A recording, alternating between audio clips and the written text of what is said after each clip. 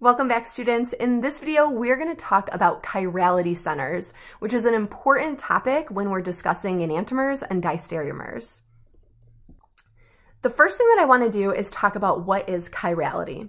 When something is chiral, it means that it has a mirror image where that mirror image does not coincide with the original compound or other real life item. So let's look at our hands.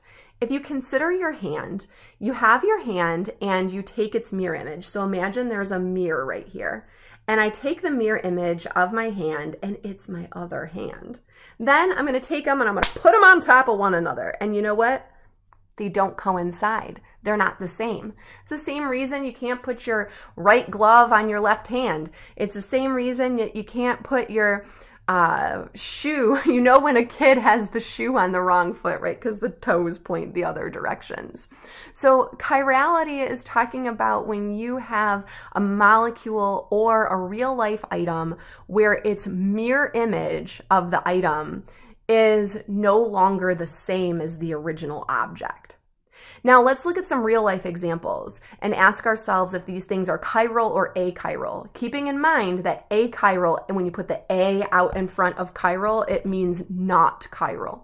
So are the following objects chiral or not chiral? Well, shoes, we just said, absolutely, right? These things are chiral because if you were to put your left foot in your right shoe, you would notice, right? Even though your feet are mirror images of one another. If you put them on top of one another, they don't coincide.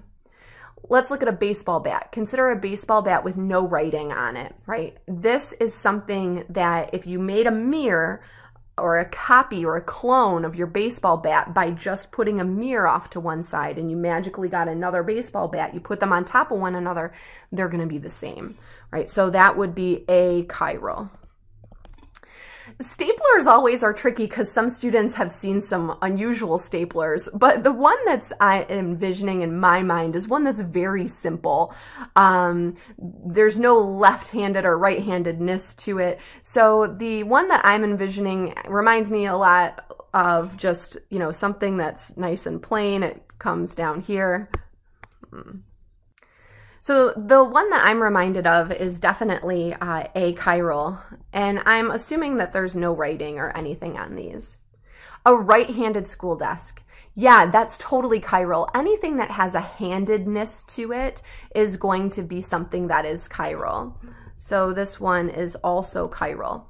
If you want to imagine it, what you can do is um, maybe draw a picture of the top part of a right-handed school desk. So your right-handed school desk is going to look something, you know, like this. And so your right-handed school desk, if you put a mirror right here, then the mirror would illustrate this. And now what you want to do is mentally pick up this one and turn it to see if you can get them to coincide, and you cannot. And when you're turning it, right, you're not flipping it over. You're picking it up out of the plane of the page and twisting it.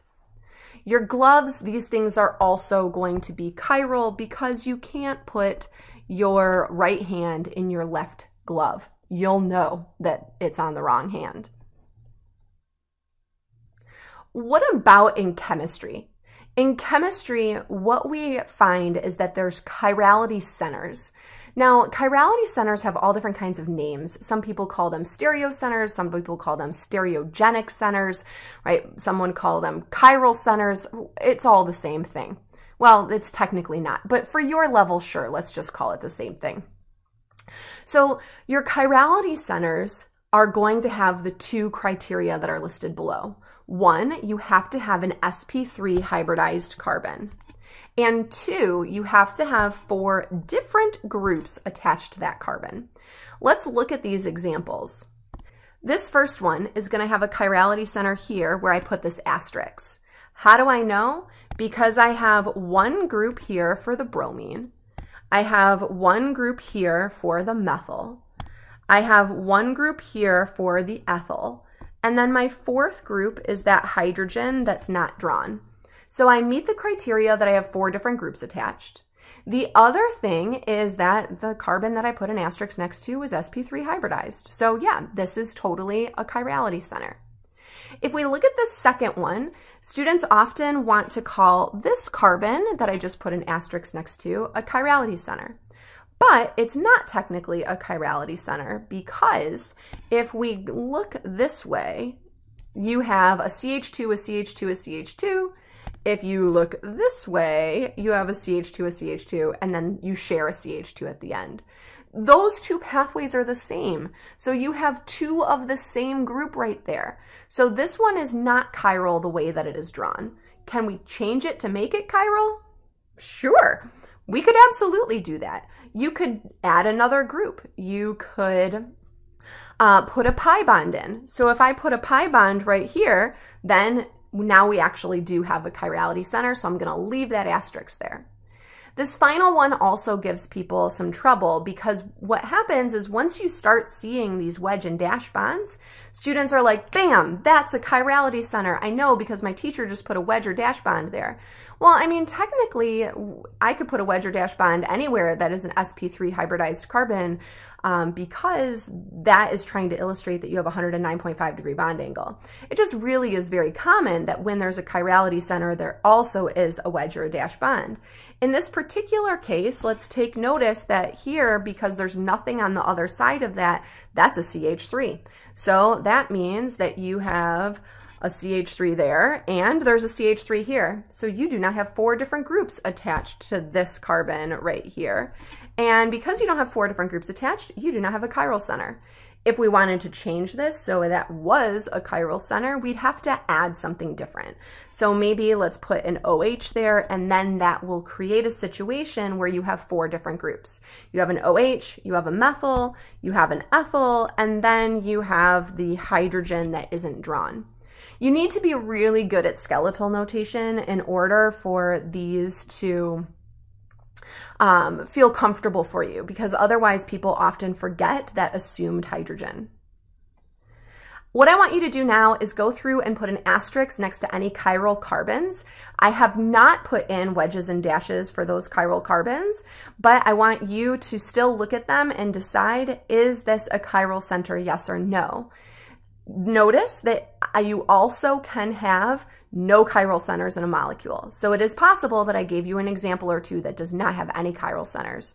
So in a moment, come back and let's compare some answers. All right, let's compare some answers. So the first one, there's no chiral carbons. You might look at it and kind of think right here that this is a chiral carbon, but it's not because that's an sp2 hybridized carbon. So no, it is not. The next two students tend to do quite well with. The bottom row, this one down here, sometimes students will see that ring and go, oh, she just said rings, you know, have the same pathway. Ooh, but there's a double bond right there. And that makes this path and this path different from one another. Over in the very end, there's also no chiral carbon here because of that pathway idea, right? You might look at this and go, oh, that looks like there could be a chirality center there. But then you come around and say CH2, CH2, CH2, and then you come this way, CH2, CH2, and then we share the same CH2. So we have two of the same group, so there are no chiral carbons here. So in the last video and this one, we looked at isomers, we defined chirality, and we found chiral centers. Next, we're gonna keep working with those chiral compounds and talk more about enantiomers, diastereomers, and things like optical activity. Thanks so much. I'll see you in the next one. This is Cottone signing out.